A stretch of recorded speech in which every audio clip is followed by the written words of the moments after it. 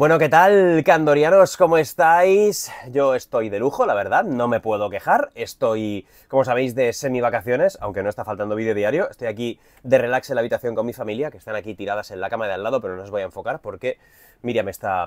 No es que no esté visible, es que eh, si la vierais subiría la audiencia del canal, pero no quiero que la veáis de, esta, de esa guisa, ¿no? No hemos llegado a ese... No, tampoco está... No, no la oís por el micro, pero tampoco es que esté... Bueno, da igual, os lo imagináis, ¿no? El caso, eh, hoy hemos estado dando una vuelta por Marsella, una ciudad preciosa, fortificada, muy rollo medieval, me ha recordado a Toledo, con una catedral preciosa y con una Notre Dame también muy chula. La verdad es que ha sido una visita muy, muy, muy bonita. Y bueno, estamos de vuelta en el barco y he visto que ha salido el tráiler de Capitán América Brave New World. Ha salido hace unas horas ya, lo he compartido en redes sociales, pero no lo he visto, así que estoy aquí para verlo, eh, aunque muchos pensáis que estas reacciones, pues los youtubers las falseamos y todo este rollo, no he visto el tráiler, no tengo ni puñetera idea de nada, estaba otras cosas con la familia por ahí, así que me dispongo a verlo ahora, aquí, y de paso que lo veo, pues hago una reacción. Por cierto, no me he vuelto tonto del todo, lo llevar el gorro de Luffy es porque estamos aquí en el barco y todos los vídeos que haga desde aquí, desde, desde este emplazamiento, van a ser... No soy yo, no soy el Botellas, es Candor the Luffy, ¿vale? Así que es lo que hay. Bueno, Capitán América Brave New World. Vamos a darle caña, pero ya. En 3, 2, 1 y play.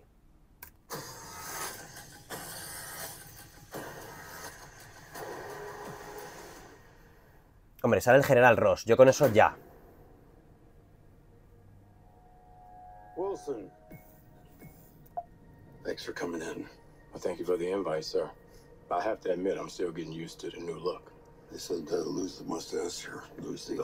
Ya, bueno, han justificado así que, que Harrison Ford no se haya querido dejar bigote.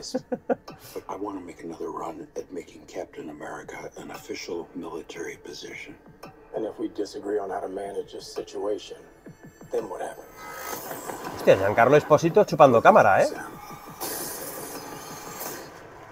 show the world a better way forward.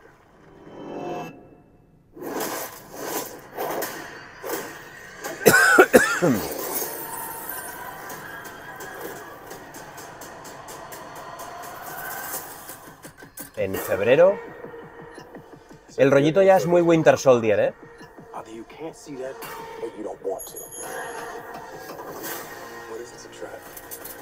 Bueno, ese es el nuevo Falcon también.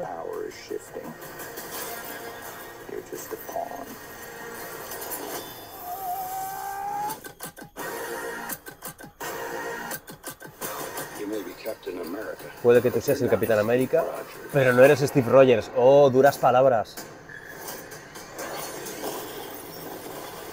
Hostia, la Casa Blanca a tomar por culo. Qué planazo ese.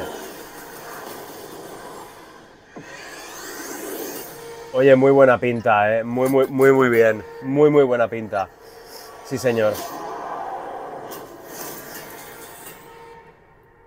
Vale, espera, espera, espera, espera, espera, espera, espera que este, o sea, voy a, voy, a, voy a fijar en pantalla ese momento final, ¿vale? No se le ve prácticamente nada, ¿vale? De hecho, bueno, dejaré en pantalla el momento en el que mejor se le vea, pero sí, o sea, bueno, bueno, eh, prácticamente se me ha olvidado el tráiler, excepto la parte final, ¿vale? O sea, después de ver que al final nos meten a Red Hulk, es que, a ver, una peli como esta, que yo creo que a la mayoría de la gente le daba bastante igual una nueva Capitán América, después de Falcon de Winter Soldier, que, oye, es como de la primera tirada de series de Marvel Studios en Disney Plus, que, estuvieron bien, estuvieron muy bien, de hecho son las mejores, pero recordamos con menos cariño Capitán América, eh, em, o sea, Falcon and the Winter Soldier, ¿no?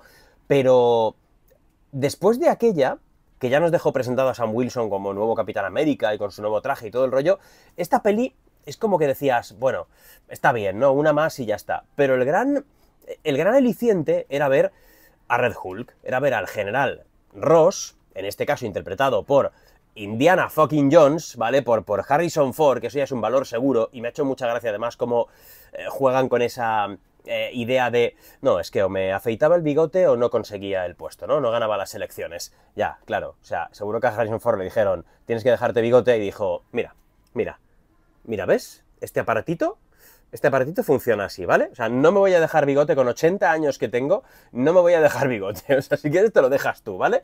Así que, no, han justificado así que Harrison Ford sea Harrison Ford, sea Indiana Jones eh, viejo, cascarrebias y ya está, ¿no? Pero el gran aliciente era verlo como Red Hulk.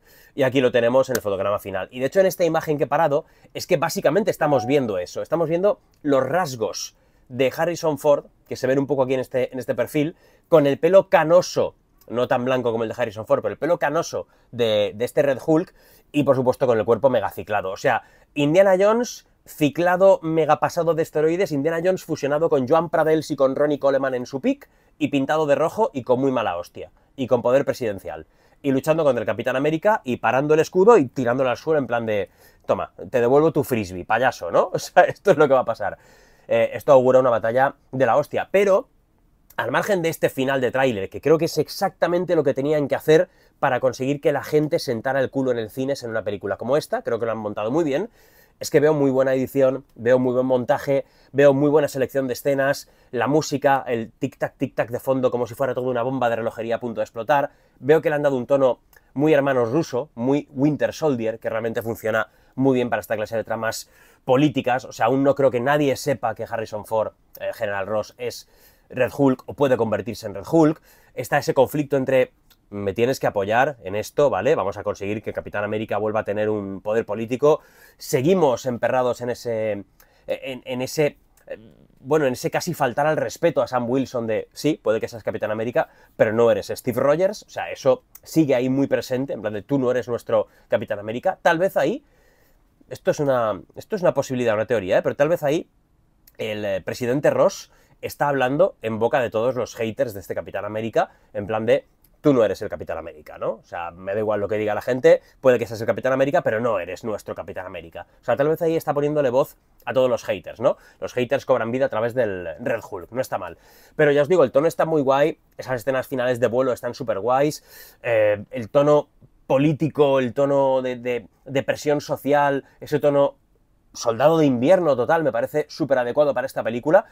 Me gusta el conflicto que plantean, me gusta la presencia de Sam Wilson aquí, del actor, está muy bien, Anthony Mackie se le ve muy trabajado en el papel, se le ve muy contento, se le ve que está ya totalmente hecho a ser este Capitán América, me mola mucho cómo luce el traje, ese plano de las alas abriéndose es espectacular, y joder, es que hablamos de una película en la que al final vamos a tener no solo a Giancarlo Espósito interpretando a un villano random, que eso está ahí, y no sabemos quién es, pero chupa cámara, ¿vale? O sea, aparece ahí en tres o cuatro primeros planos, muy bien. Me la pela, dijeron otro día quién es y nadie se acuerda, no se acuerda ni, ni él mismo de quién interpreta, ¿no? Lo que vamos a tener es a Red Hulk.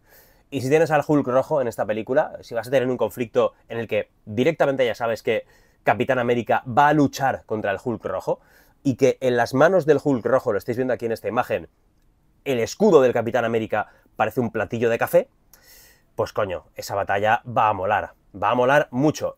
No sé, ya te lo digo, cómo se la va a apañar el Capitán América para vencer al Red Hulk, ¿vale? Va a tener que tener mucha ayuda de Falcon también y vete a saber de quién más, porque Red Hulk no es ninguna tontería, ¿vale? Pero, bueno, ¿en qué afectará esto también a la presidencia del general Ross convertido a presidente? Una vez que se convierta en Red Hulk y ataque a Capitán América, ¿se irá toda la verga o no? No lo sé, pero son incógnitas que ahora mismo no tienen importancia. Lo que mola es que el tráiler está muy bien montado y que creo que es exactamente, como os decía, el tipo de tráiler que necesitas para una película como esta. Para una peli que la gente a priori no quiere ver y que después de este tráiler dices, hostia, pues sí que quiero pagar nueve eurazos de entrada para ver esto en cine, ¿no? O sea, mola lo que se ve, el tono, la esencia del Capitán América y encima me han metido a un Hulk, o sea, ¿qué más puedo pedir? Así que muy bien, muy bien, de verdad, muy bien. Así como el de Agatha, por ejemplo, no me dijo nada, me pareció una serie random de brujas adolescentes, este me parece un trailerazo importante, importante, ¿eh? Y nada más, gente, desde el barquito del amor, donde el Love is in the air, me despido por hoy, solo por hoy, ¿vale? Hoy habéis tenido un nuevo vídeo también con el diorama de Godzilla vs. Kong, por favor, dadle mucho amor también. Y para mañana también tengo cositas y seguiremos actualizando todo lo posible. Si me es posible, haré un vídeo también de fotos del rodaje de Superman en algún momento, cuando tenga unas cuantas que sean importantes de comentar, y si no, pues seguiremos aquí disfrutando un poco de las vacaciones. Nos seguimos viendo estos días, ¿vale, gente? No desconecto del todo, que sabéis que esto, esto hay que seguir dándole, dándole, dándole combustible, ¿vale? Like al vídeo, suscribiros al canal y hasta el próximo. Buena suerte para ti. y para tu familia.